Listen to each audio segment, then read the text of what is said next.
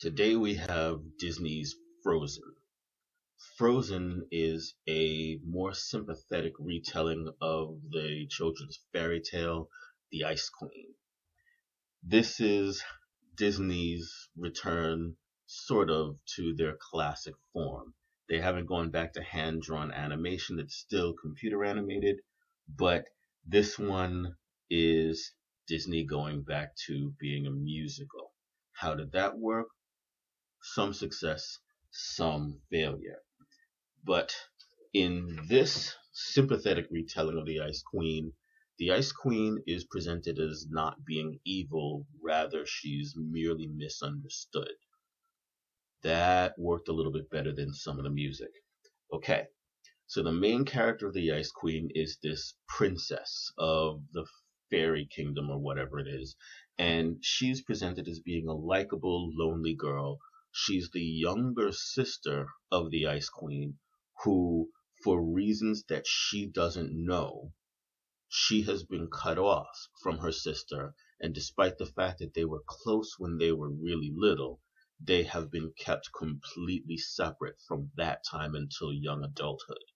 And she's grown up sad and lonely and wanting nothing more than contact with other human beings, her sister especially the Ice Queen herself, the older sister, is a girl who has essentially the powers of X Men's The Iceman, but multiplied to fairyland status. She is really, really, really powerful, but she has absolutely no control over her powers, or not as much control as she needs to be safe.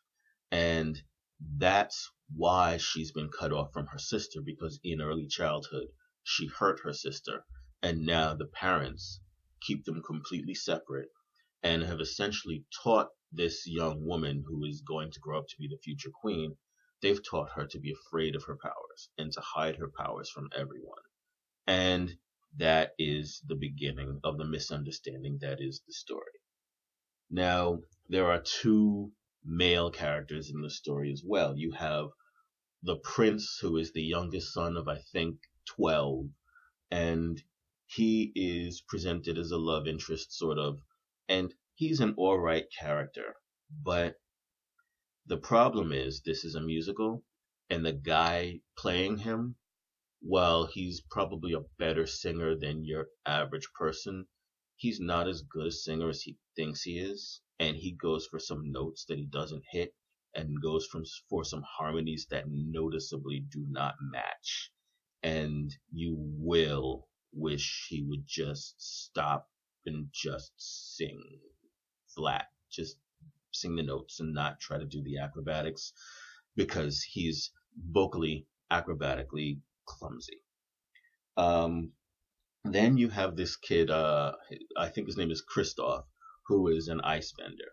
He, the guy playing him, can sing a lot better. Um, I'm not sure if he sings as much, but he sings a lot better. He's also a nice, likable character. Most of the characters in this movie are relatively likable. I don't think there are too many characters that are going to stand out as great Disney characters, but you won't dislike any of them. Um, then for comic relief, you have a snowman who serves a greater purpose than just the comic relief, although he's good at the comic relief. He is a living symbol of the bond between the two sisters. He's a snowman that was originally built, or he's modeled after the snowman that was originally built on the last day the two sisters ever played together.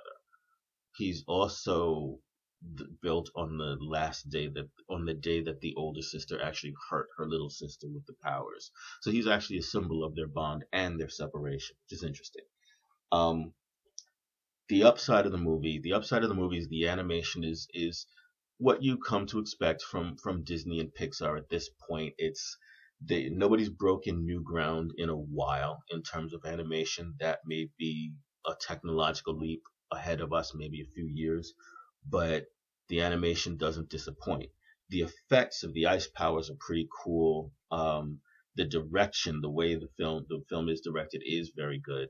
Um, the some of the songs are good. Some of the songs are really good. Some of the songs are memorable. Um, you might see the usual spattering of songs nominated for various awards down the road for a few of them.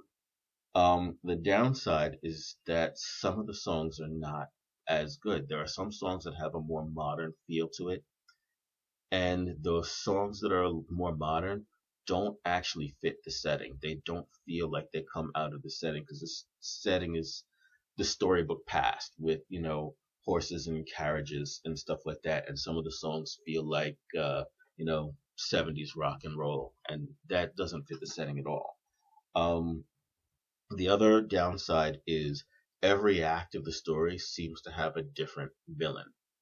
The there's no one villain to root against throughout the entire film, and whenever you don't have a true villain in a story that isn't just man against nature, it actually is a story with villainy. If the villain keeps changing, the focus keeps changing, and it leaves the film having a sort of a, a status that feels floaty and unfocused. And this film has that.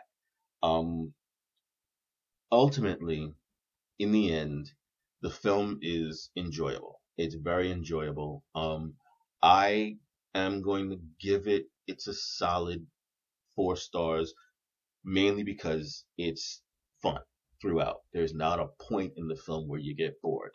Um, and I saw this movie in a crowded theater and on a Saturday morning with tons and tons of kids. And I can tell you that I think most of the kids would give this film five stars. So if you're a parent, take that into account. Your kid's going to love this. Five stars for kids, four stars for mom and dad.